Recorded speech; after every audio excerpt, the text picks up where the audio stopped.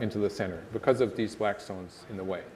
And so the value here is relatively slow, small because it doesn't uh, spread out, and also because these stones, if black chose to play a lot of moves on the right side, he would not have the added value of having, uh, say, a, an attack on this group because Okay. it's so strong. And so that's some- something you look for.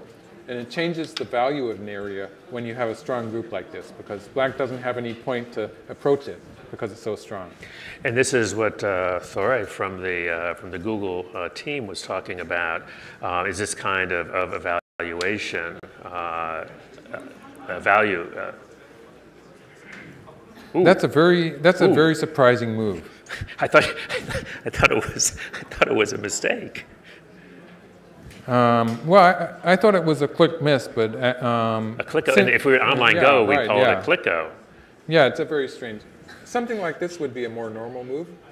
Um, okay, you're going to have to. So, do you have to, do you have to this think about this? This would be kind of a normal move, um, and black would white would locally white Sure. would answer here. But actually, since this group is so strong, maybe white wouldn't. okay. oh, right. That's right. Because what you were just Yeah, saying, that's right, just yeah. settled. Right. Because even if black does stuff like that, even after playing all this moves, it's still It strong. doesn't change it, It right. doesn't change. Well, these stones might get a little weak, but um, the value of this is relatively small. So we don't really know if white would answer this or not.